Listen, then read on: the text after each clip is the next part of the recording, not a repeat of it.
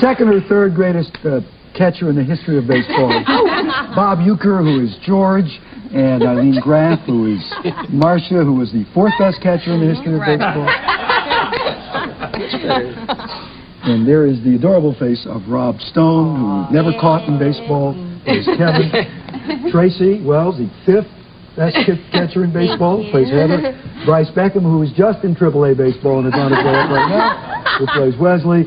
And, of course, the all-time number one catcher, No, no, no. Yes. Cricket, cricket. cricket, yes. Sex symbol of the 90s.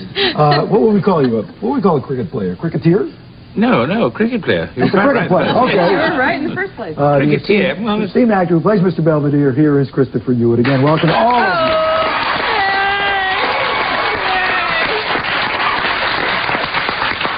Now, Uke, Yeah.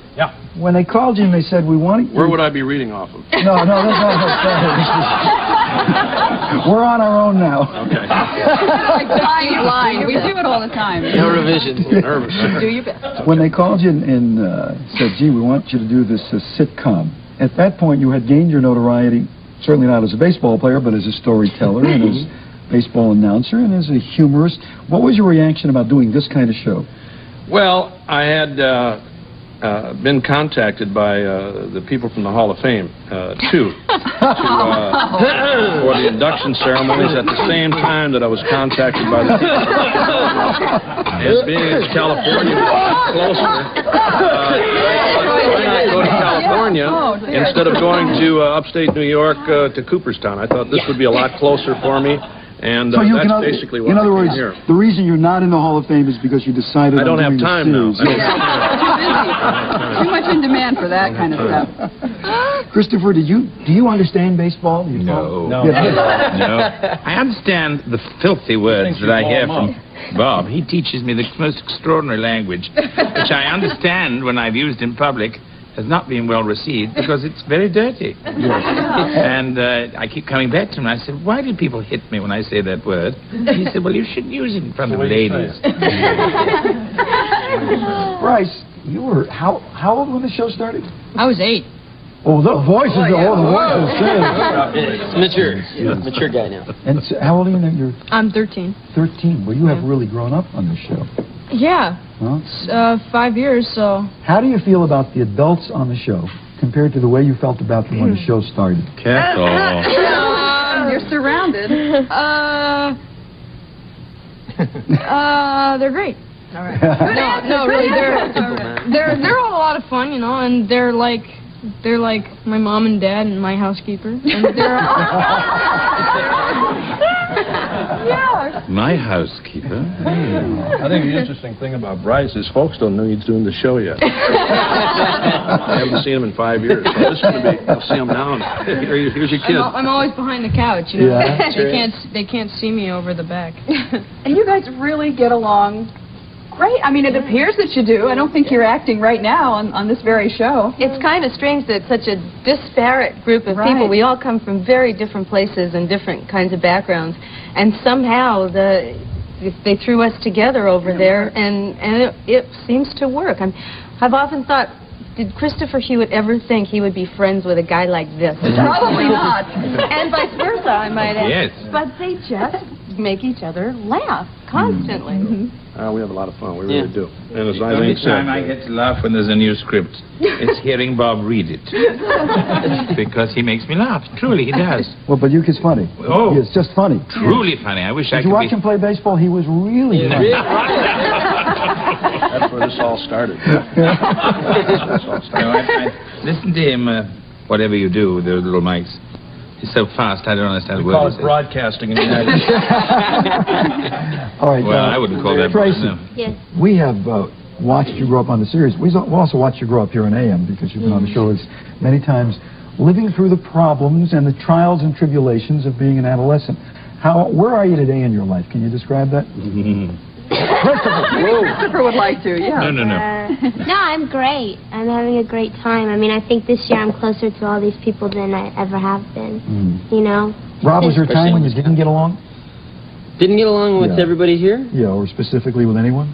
No, well, Tracy Yeah. and I. Yeah, we hate each other. No, it's it's great. You know, um, my my family. I'm from Dallas, and so it's really nice having kind of a little surrogate family out here as well. I mean, we see so much of each other and spend so much time that we've all like become this this family out here, and it's it's it's a lot of fun. We all have a lot of fun together, and I think that's really the key to it. And hopefully that comes through on screen. But um, I really think if if you're not having fun, then it's going to come through. And we just enjoy being together and have a lot of laughs. Now, what's the truth? Uh, The opposite of everything. I said. Do you do you feel like the the paternal figure here in this group? Oh, I like being around the kids. Uh, as, as, as, What kind as Hey, of Ilene. rule is this guy said. well, I uh, like being around the kids. Well, you know, I mean, being around the wife and and uh, whatever you call him here, domestic, or, domestic or a housekeeper. Or no, Christopher. Christopher is just one of the guys. You know, I consider Chris one of the guys, and Thank and being around these kids, uh, you know, I had four of my own, and, and having another chance to. To be around youngsters growing up uh, is, is a lot of fun, and uh, with Brice, he's getting bigger and bigger each year. Tracy's a young lady now; she started as a young teenager, and of course, Rob, uh, at 33, uh, Look at 34. Yeah. 34. but, no, it, it's it's been fun for me, and uh, uh, I mean, we have a lot of fun. We have freedom with the script. Uh, we don't we don't read what they write. Uh, we do our do it our own way, and I think that shows in our ratings. one of the fun things might be, you guys deal with situations, how you relate to these television parents, which sometimes you can bring into your own lives, how you relate to your own parents, and you with your kids and vice versa, and you can all learn how to be better kids, better parents, better housekeepers, better all of that stuff. I think so. Better They, friends. Uh, I think Wes takes a better punch than Rob does. but no, they're they're all great. They really are. And Ilene, of course. Uh, is she's she's she's been around and, and uh, she's a trooper and What a wait a minute! What a wonderful statement. Ilene, of course, she's been I, around. I ask, uh, you know, I, I'm, when I first came here, I was the rookie of all Mm. these people, despite the fact that they were so much younger. They had done this stuff before, and, Yeah. and uh, I mean, to be able to be around Ilene and Chris, and, and uh, they've helped me tremendously. They Uh, really have. Uh, Listen, I had to audition for this show. They said I was auditioning for the network, but I discovered afterwards that I was auditioning for Bob Uecker, who was reading with me and kept looking at me rather strangely as I would read. And I realized, thanks to him, I got the job. It wasn't the network at all. It was Bob Uecker Bob standing Uecker. there, Oh. feeding me the lines and saying, "Yep, he'll do, he'll do." He reads so badly, I I, think I seen can manage. anybody in Herman Munster's shoes before. I'd love to work with this guy.